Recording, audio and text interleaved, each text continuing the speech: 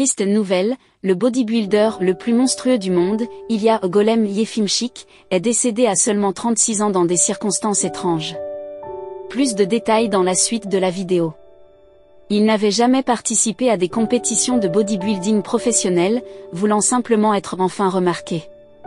Ilya Yefimchik, dit Ilya Golem en référence à la créature mythique considérée comme un symbole de force et de résilience, est mort à seulement 36 ans. Terrassé par une crise cardiaque à son appartement de Dubaï le 6 septembre, le culturiste biélorusse avait été transporté à l'hôpital dans le coma. Sa mort a été confirmée mercredi par le très suivi compte Instagram. J'ai passé chaque jour avec lui, espérant qu'il se rétablisse. Son cœur a recommencé à battre pendant deux jours, mais les médecins m'ont dit que son cerveau avait cessé de fonctionner, a déclaré son épouse Anna aux médias biélorusses. Je remercie tout le monde pour leurs condoléances.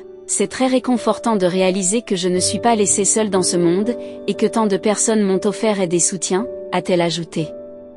Avec son impressionnante carrure des 1,80 m et 155 kg, qui lui a valu de gagner le titre de bodybuilder le plus monstrueux du monde, le colosse aux nombreux tatouages s'est rapidement fait un nom sur les réseaux sociaux avec plus de 300 000 abonnés sur Instagram il avait acquis une renommée supplémentaire en collaborant et tournant des vidéos d'entraînement avec la marque de compléments alimentaires 5% Nutrition. Celui qui avait pour modèle Arnold Schwarzenegger et Sylvester Stallone se vantait notamment d'avoir des biceps de 63 cm et de soulever 272 kg au développé couché et 318 kg au deadlift et au squat. Il disait suivre un régime protéiné impressionnant composé de 7 repas massifs par jour, avec plus de 100 sushis et quelques 2,5 kg de steak soit un total de plus de 16 500 kcal au quotidien, bien loin de la moyenne de 2500 kcal par jour.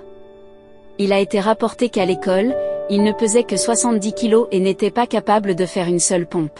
Ma transformation physique est le résultat d'années d'entraînement intensif et de discipline, avec une bonne nutrition, avait déclaré le Biélorusse qui s'est lancé dans le culturisme à l'adolescence. Né en Biélorussie, il a déménagé en République tchèque puis à Miami avant de poser ses valises à Dubaï.